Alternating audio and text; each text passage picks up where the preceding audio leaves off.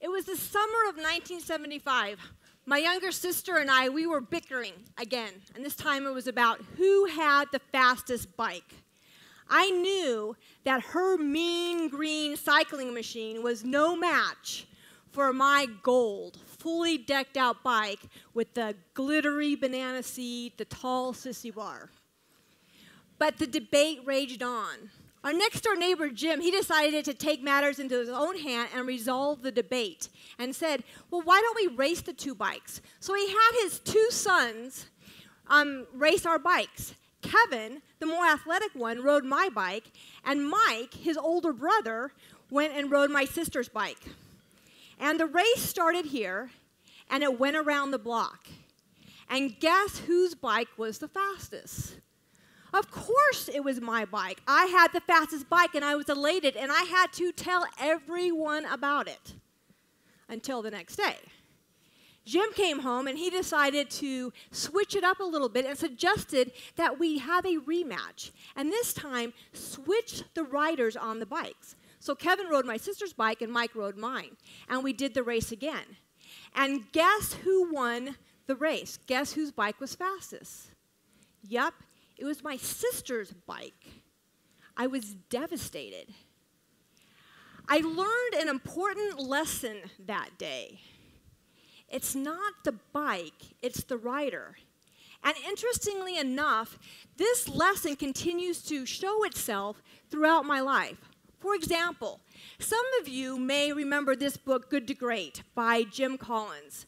It was released in early 2000 for businesses, or rather its leaders, helping them to be just good, to be great. And one of the key concepts was about getting the right people on the bus. Whether that bus was a team, a group, an organization, a department, or even a project. Because for Jim Collins, his point was to be great or successful, it wasn't necessarily about the what as much as it was about the who. Some of you may recognize this as Cesar Millan with his dog Junior. Some people think that Cesar is a dog trainer, but he calls himself a dog behaviorist. People come to him all the time with their dogs and they're misbehaving dogs and say, Fix my dog. But that's not what Cesar does. If you were to ask Cesar, he would say that he rehabilitates dogs and he trains people. Because for Cesar, it's not about the dog, it's about the human owner. So, what does this have to do with Hadoop? Actually, a lot. So, for starters, what we know about big, big, uh, big, data and Hadoop is that the market is growing. They're estimating that by the year 2020, it's going to be a 60 billion plus market.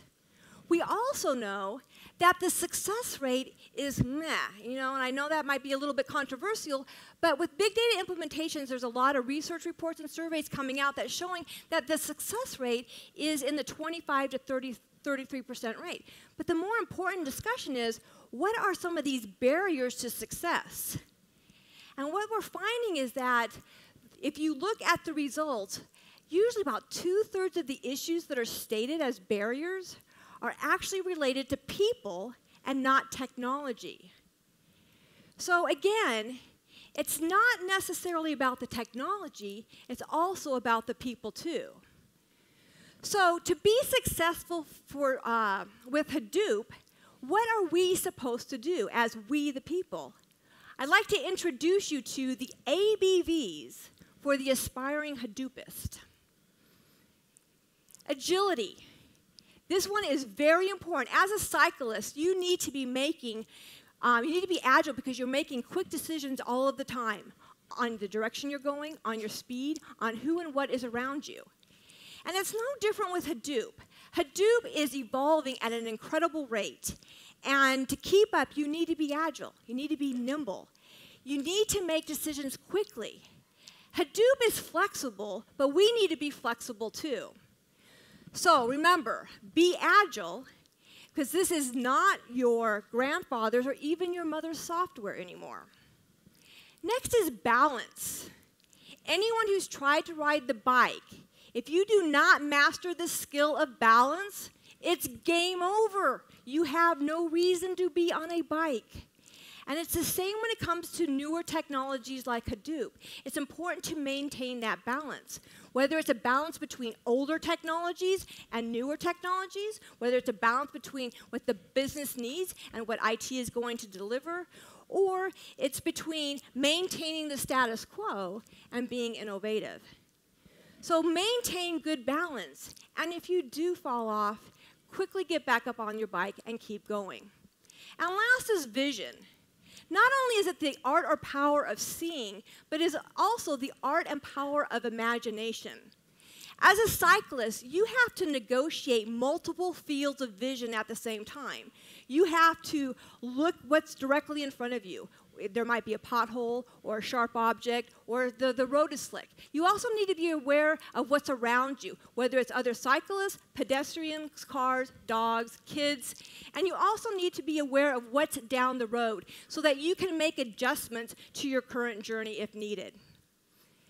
To not negotiate these multiple fields of vision is to is a recipe for disaster. For Hadoop, we need to negotiate the immediate, short term, and long term vision for our big data projects. And yes, we can't be afraid to use our imaginations. So while I have no doubt that technologies like Hadoop will take us far on our data journey, it's going to be up to us as aspiring Hadoopists to ride it on home. Thank you.